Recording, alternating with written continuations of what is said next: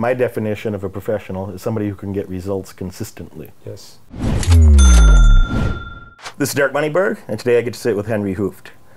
Henri's been uh, kickboxing for quite a long time. He's from the Netherlands, and he's got over 100 professional fights.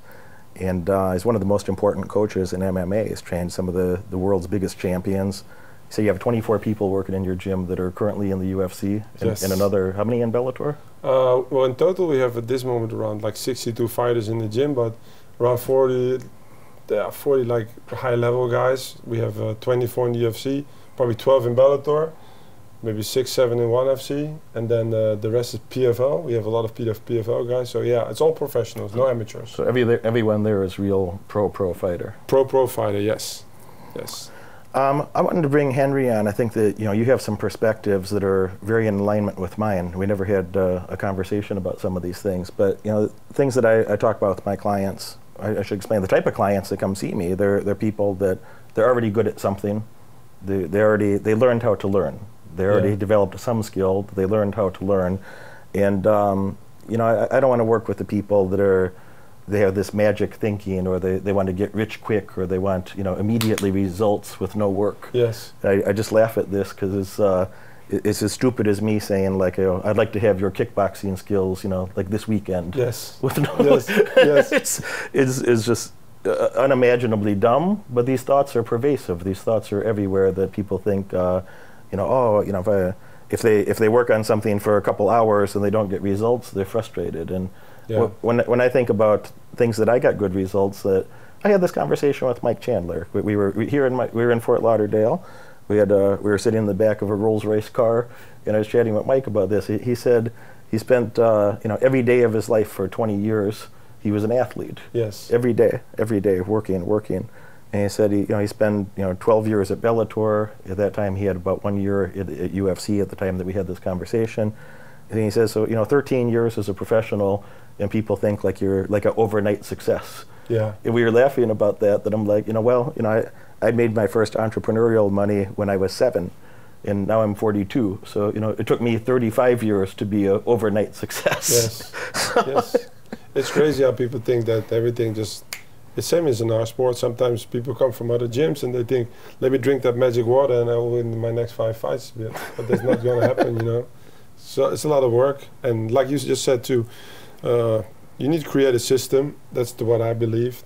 Skills takes a lot of time to build. And also, uh, you also try to try to recognize on your students if they're really fighters, because there's a very big difference. You can be a very good athlete, and even good fighter in the gym, but that doesn't mean you do it for millions of people when the camera is on and everybody wants you to win. That's a whole different skill set. Yeah. What is the difference in your mind between that distinction between somebody who they're they're a good athlete, maybe they're a good fighter in the gym, Yeah. versus somebody who could really be a, a star that can perform under that pressure? Well, to be honest, uh, I can give a very good example because I myself, uh, I think I'd be a very good example.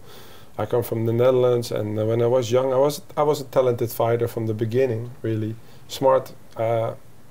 It's hard to say about yourself, but a technical fighter with my brain, and and and and, uh, and in the trainings I was, and that's with most of the fighters. In the trainings, they're always a little better than most of the fighters than in the in the fight because in the fight so much more comes than just fighting and your opponent because you got the nerves uh, did I do enough uh, the, the tension the people that come look for you. So it's always a little harder.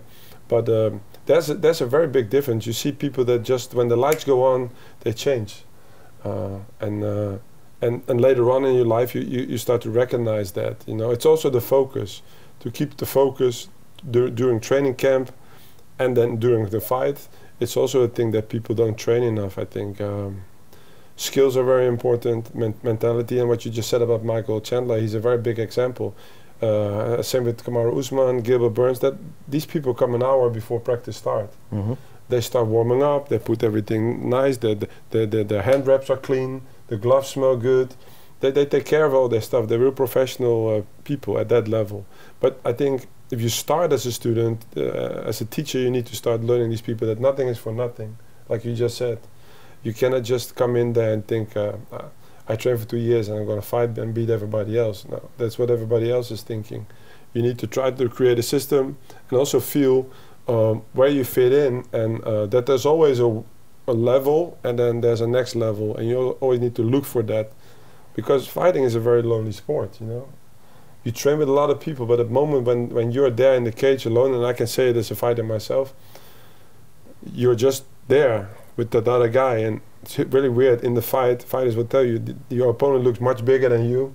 And when you see him in the weigh-ins he looks good but when in the fight look better. The smell of the fight the referee and when it just when it starts you know it's and and i also said to the, to a lot of people that's not for everybody and, but you can create create it a little bit in, in the gym but most of the time i see it. I see in a fighter if he is the guy that shows up in fights. That doesn't mean that he is going to win every fight but he shows up in fights. And i can also see when people maybe are really good and you're not a less martial artist if you're good in the gym and not in the fight. But if it's your profession you need to do it in the fight if it's for martial arts, I have respect for everybody that does martial arts because at the end of the day, it's a way of living and it's not just fighting. But if it's your profession, you need to have all these aspects. And there's only a couple of people that have that. And I'm very lucky and fortunate to have been working with, with people like that. You know, you know a, a, professional, my definition, whatever the dictionary says, meh, my definition of a professional is somebody who can get results consistently. Yes. They don't have to be in a good mood if if they got a little headache or a little tummy ache, they're not gonna no probably not going to mention it. No, they're just gonna they, they didn't sleep good last night. But a professional is somebody that gets results consistently. Yeah. Doesn't matter what happened in their life. Doesn't matter they had a little fight with their girlfriend. Doesn't matter their their puppy isn't feeling well. Yeah. They're gonna show up and perform consistently. Yeah. And, you know, if you think of like what a doctor is, I think that's the best example. That's very relatable to everyone. That like, imagine you go to the emergency room with an injury and the doctor said, oh, oh, that looks bad, man, but you know, I'm just about to go to lunch. Yeah, yeah. it's I, a great example, though. I, I got yeah. a little headache, you know. I'm going to take a couple Advil, going to go to lunch, and yeah. you know, was, I yeah. hope it works out good. You know, i will check up on you later, you know, if it's convenient. if I feel good. so, you know, uh, that's uh, people when they hear the professional. A lot of times in America, they think you know, doctor, lawyer, something like this, and you know, a, a professional fighter what you're saying is, is a man who's going to, or a woman, who's going to show up. I'm not politically correct, but there's yeah. a lot of women fighters yeah, now, yeah, you know. Uh, is a man or a woman who's going to show up and they're going to perform consistently. Yeah. And I don't think uh, I've, I've, talked to a lot of athletes. I have friends that are you know football players or professional football and uh, uh you know boxing and other sports. And uh, you know when when I ask um, you know, on, on game day when it's when it's Super Bowl day or when it's the you know a big fighting yeah, event, yeah, yeah, yeah, you know, by the time that you're skilled enough that you're you're fighting for the championship or you're you're, you're playing for a Super Bowl ring, you have an accumulation of injuries. By the time that your skills are good enough, yes. it means you're you're a little older now. Probably you have some injuries. Yeah. Something hurts this day. There's uh, you know, you'd be lucky if you were 85% good on, yeah. at the most important yeah. moment. Is yeah. that fair? That's, that's, that's, that's really fair because if people, if people in fight week uh, have come to me and have, have no injuries, especially when they start talking, I feel so great, or the day before the fight, that is the most common thing what you hear, I slept great. Listen, again, I, I have my fights. I was a fighter myself. I started fighting when I was 13, so till the end, to my last fights, it's the same thing. You, the feeling that you have to perform. You're not scared of your opponent because you've seen opponents already through your whole career. It's not that, but did I do enough? Do I don't get tired? The small questions, but the closer you get to the fight, uh, uh, and, and, you you want to be uh, how you say when you train, you want to be like, oh, have, we have to be careful. I'm fighting in two weeks. You start doing that, your training goes Mm-hmm. So we mostly temper off uh, close to the fight, but everybody has small injuries. Uh, Kamaru fought probably the, the, last couple of fights uh, also, but also when I was with him, with hands that were hurt, and he still knocked people out. With knees that are bad, he still took people down. Same with Michael Chandler, same with Gilbert Burns. These guys have injuries because they go hard for five days a week. Mm-hmm. And my, my, my son-in-law, he plays football, so um, he's married with my daughter, and he um, he's still he's still young, and uh, he comes to the gym sometimes, and he looks the fights. He's a big fan, and he says the same thing for the money that these people make and the work they do. That's just like crazy. When he hit, he hits the bags, he doesn't even know how to make a fist. But when he hits the bags, he hurts his hands, and he said these people do that for real. and then they also think that they're rich, that they make a hundred thousands of money, but. I had just a guy fighting in the UFC making 12 and 12, and then you lose Mhm. a fight, you make $12,000 in three months. hmm So injuries are always going to be there, but like you just said, the real pro finds a way. Even in the fight, there were fights when I was with Michael, uh, with Eddie Alvarez. I trained Eddie Alvarez before. His eye was, was closed when he fought Gilbert Melendez, and the referee came in and ducked, and they wanted to stop the fight. He said, "You got another eye, man. Don't worry about that guy. He trained with one eye." and he, he came out and he won that fight. You know, the trust between the coach and the, and, and the fighter is has to be at that level. But injuries are always going to be there. It's a full contact sport, and people have to understand. We talk about sport. This is fighting. Sports is basketball, NFL. This is fighting. This it only starts really when it when they when it starts to get tough and when you're hurt. And one more thing I always say to my guys: at every seminar that I do or young fighters that I get in my gym, there's three things in, in fighting. You're gonna get hurt, you're going to be tired, and you're going to be underpaid. That's the three keys that I always say to everybody else. So don't fight because you want to have a girlfriend or you want to be, be a cool guy. You fight because you love to fight. That's it. You start with that. That's just. Still, as a coach now, when I walk behind these guys, I wish I could do what they could do, and I tell them right before the fight. Believe me, as soon as you're not, if you stop fighting, you can't fight anymore. That's when you really know how good, how good of a feeling it is to fight another human being, you know. So enjoy the moment, although you're gonna get hurt, you know. But yeah, I always say that to the guys. It's a special type of personality that uh, you have to have a calling for that. You have to have a passion for that. You're not doing it for the money. No, you There's, there's, there's very few people that make a lot, a lot of money. Yeah. That uh, I, I make a lot more money in the stock market than Yes. these guys make. In, Yes. you know, sometimes in a day, frequently in a day, I make more money in the stock market than a champion gets paid Yes. for at UFC. Yes. And I'm not down on that. I, you know, I, I've met Dana a couple times. I think he's built a fabulous business, and Yeah.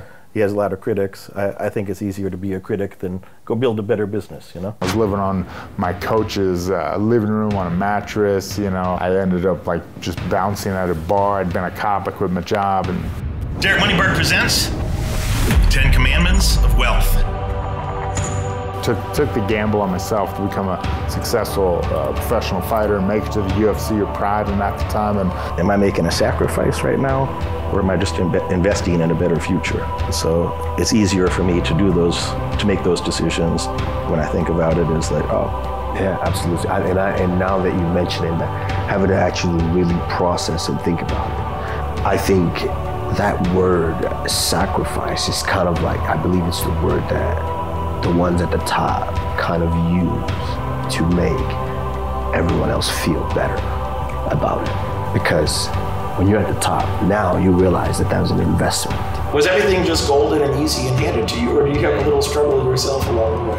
No.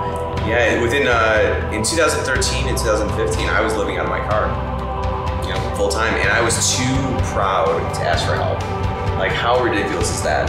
You're living out of your car and you think you know it all. And 2015, that's when I kind of hit.